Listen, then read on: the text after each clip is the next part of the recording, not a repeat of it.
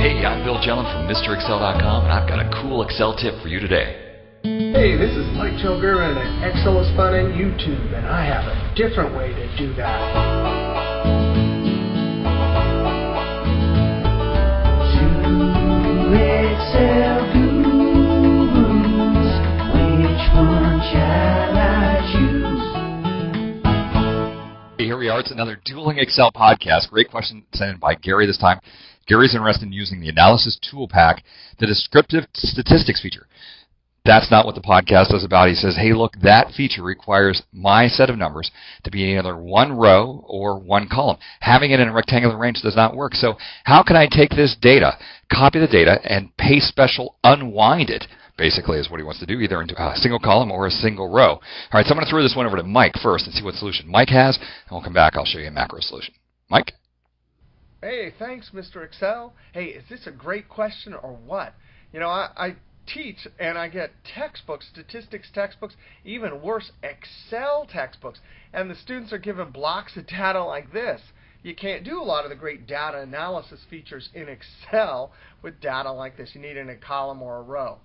Now, I want to show you a couple things first before I show you my trick. Under data, there's the data analysis, and this has some great statistical tools in it. You got to go to the Office button and down to Options here. The keyboard shortcut for that is Alt Fi. Great keyboard shortcut because there's lots of great tricks in the Excel options. You come down to Add-ins, and down here you, uh, you select that add-in and click Go. And there it is, Analysis Tool Pack. Uh, and then that will uh, show that right there in 2007. In earlier versions, it'll not only give you the data analysis feature, but it will also add some extra functions for you. I'm going to click OK. Now I also got to show you on the home ribbon the clipboard because the trick I'm going to show you involves the clipboard. Now, in earlier versions you could control CC and open up the clipboard. It would copy it and open up the clipboard. I better clear all here. Clear all. Now, down here, clipboard under, under options. There it is. So you can use the keyboard shortcut from earlier versions, but you got to check this. Control CC to show the Office clipboard. Now I'm going to close this and start the trick here. Here I have um, my cursor right there. I'm going to Control Shift down arrow and then Control CC. That opens it up. The active cell is right there. I'm going to right arrow and now I want to Control Shift down arrow, Control C, right arrow, Control Shift down arrow, Control C, right arrow, Control Shift down arrow, and Control C. No way, because I had the clipboard open, it collected it there. And here's the easy way to do this, except for if you know VBA. Uh, paste all. Boop. Just like that, it pastes it all in a column. Now I'm going to come up to the top, Control up arrow, and uh, type sales or whatever the label is. And now let's go ahead and try that data data analysis right there. Boop. And there's great uh, data analysis statistics. I'm just going to do the descriptive statistics. Click OK. Now I got the range right.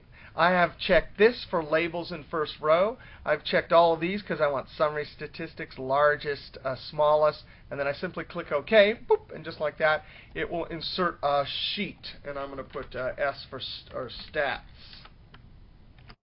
And there you have it, you uh, nice quick way. And because we have our data in a column. Now I'm going to throw this back to Mr. Excel, and we'll get to learn some VBA. Nice, Mike. That clipboard trick, really cool. You know, I'm a VBA guy. I'm just going to switch over to VBA here and, and solve this with a few lines of code. Insert a module. I'll call it sub unwind selection. I'm going to set up a couple of variables here. Dim out cell as range. Uh, counter is equal to 0.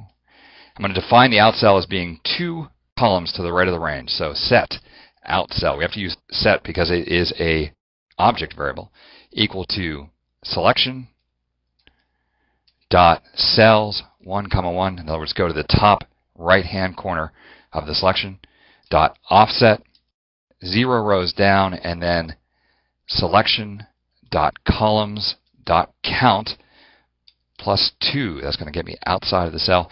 And then from here, it's just three simple lines of code for each cell in selection.